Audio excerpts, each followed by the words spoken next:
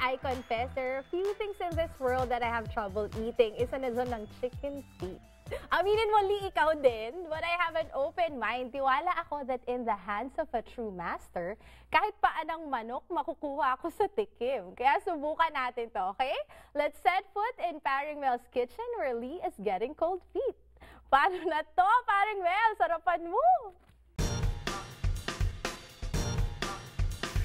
Okay, mga ka-nation, uh, you can see the excitement in my eyes and on my face because uh, today here on Isla Restaurant, where I am, of course, standing right next to the King of Pampanga, si Mr. Melvin Pare. Kamusta mo muna sila, paring Mel? Kumusta po kayo mga ka-nation? Okay, yan. Dito ngayon sa isla, sa Makuha Ka sa Tikim, we're gonna be cooking adobo, not pork, not chicken, It's not chicken. chicken and pork, It's just chicken feet. Adidas, okay, as you may more infamously know, the famous street food Adidas, chicken feet, pero this time with the adobo twist to it. My The highlight of the show is that uh, it's my first time to try chicken feet. Wow. So, only here on Ako Kasi Tikim, on Adobo Nation, with this guy. So, now, we're already sauteing Garlic. uh, garlic and onions to kickstart our uh, our adobo. Yan. Nauna po yung garlic, pangalawa Sauce, yung yan. onion. Okay. Yan, yan, yan. Okay, I'm, I'm excited na hindi masyado, pero let's do this. Alright. Exciting pala to ah. Oo nga. Now, ito po kailangan tanggalan ng kuko. Yan. Alright, yeah, let's do that. Let's do that. So, medyo mina Tapos yung dito, manicurean. parang medyo matigas. Alin? Yung, na, yung Oh, kailangan- knuckle. oh. Okay. Yan. Tapos, Yan. gigisa natin to. So, igigisa natin yung happy feet, happy chicken feet. Yan. I-apply muna natin ha. Okay. Yan lang yan.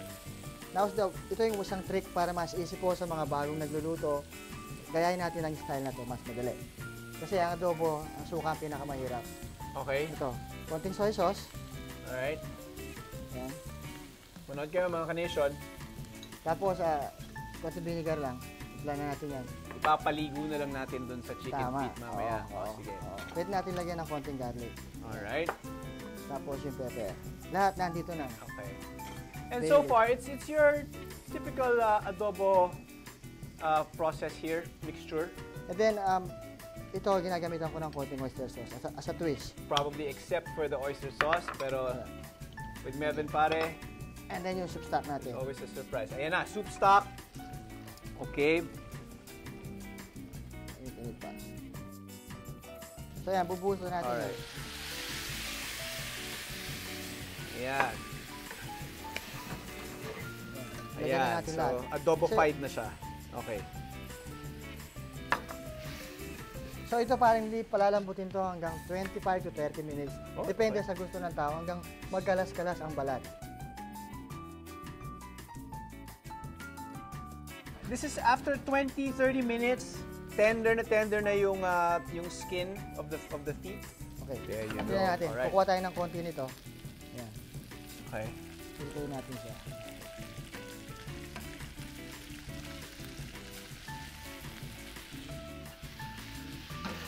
Kayo mga kanation, Yan, may papasok ba kayong kumain ng Adidas? Kukuha tayo ng konti nito parang yun. Alright. Just a little bit. Yan. So that is... Yan, pwede na panghalo sa kanin yan. Pero Yeah, sure. dito pa lang parang swak na swak ito. So, So, ang, ito, kung lagyan natin ng sili, mas masarap. Diba? ang magandang kapartner niyan, paring Mel's suka na may sili, ganun.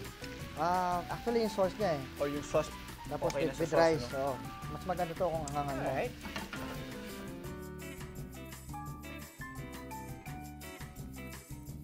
Okay, here we go mga kanation.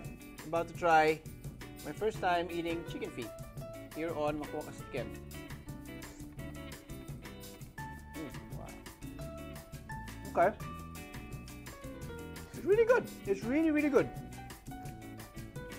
Tastes like adobo. I'm going in the between the toast here. Right? But it's really tasty. Adobong Adidas. Survival of the fittest lang yan eh.